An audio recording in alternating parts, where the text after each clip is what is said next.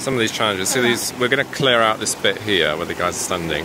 This is quite a few big rocks, um, and we do need some down here because we're not going to be able to put sacks. Well, I mean, we could put some sacks here, but uh, over here, of course, we can't. And uh, so rocks will be our friend in that sense. So we're going to put as many rocks as we can along there, um, just to add strength to the whole thing. So anyway, shifting those rocks is not easy. Um, but yeah, we're going to try. Here we go, shifting it.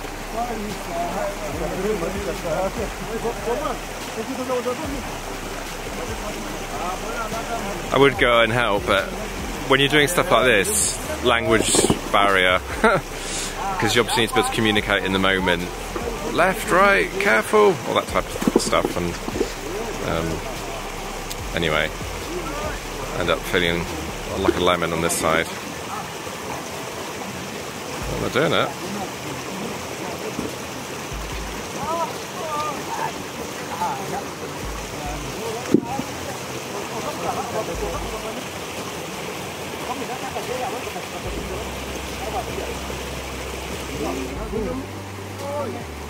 Here it comes.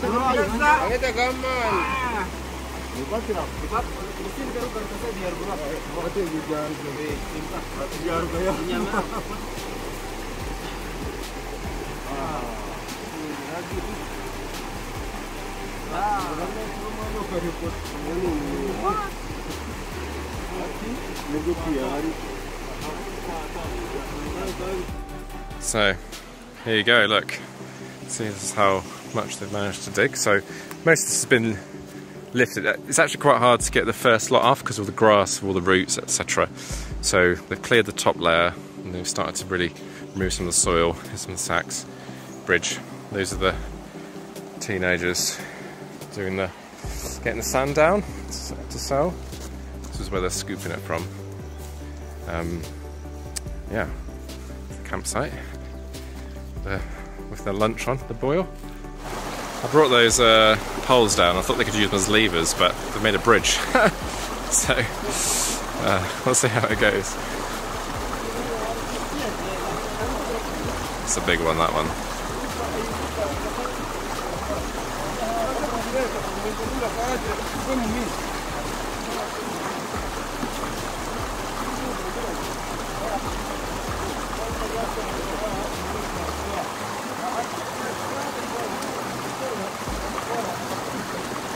There's justice or hospital representative. There we go, it's going. It's gonna go, see that one behind. Gonna get up the bank now. So, day two on the site. See all the kids carrying sacks, that's sand, which they, they upstream, they go up, there's a place upstream, what they'll do is they'll come where it's deposited, some sand, they'll collect the sand, move it down there, and then they create a big. There's a big pile of sand at the beginning entrance. You might have noticed, and then they will then sell that sand. Um, so yeah, so you'll see a bunch of kids just running down here with sacks on their shoulders. That's what they're doing.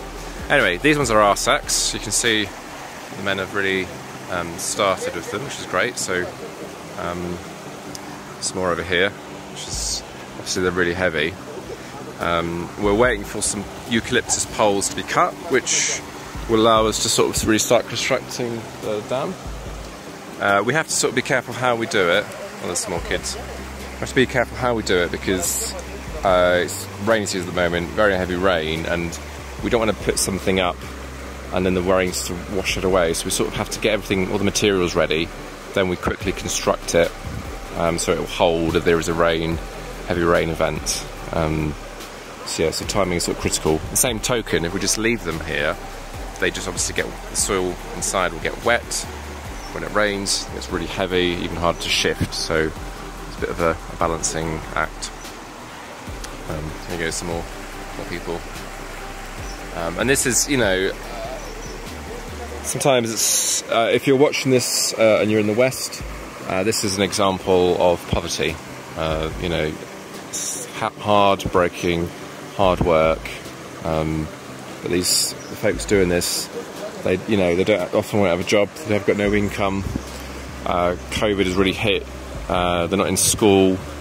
even if they were in school, they might have left school to do this because uh, at the end of the day, this will pay them a pittance, but it will allow them then to put food on the table. This is sort of daily, daily labour. Um, this is the sort of thing we're talking about. So we're just digging a hole here. Um, you can see there's a, I'll give you the orientation river, big rock here, big rock down there. So we're going to build a, it's going to be, we'll obviously use the natural features, the rocks, um, but we want to sort of put some stakes into the ground which will help hold the sacks in place. So this will be one of the places. So we sort of need to see what's underneath. Where there's rock, of course, you can't can't make holes in that. We don't we don't have the right equipment for that. Um, uh, so yeah, so we're just going to try and use the lateral landscape. There's another bit here where we're going to build this. We're just going to check what's underneath here because um, it's sloped. There's obviously a hole at the other side of these guys, um, and that's the water goes down there traditionally. So we're just going to clear this bit, see what we've got to work with.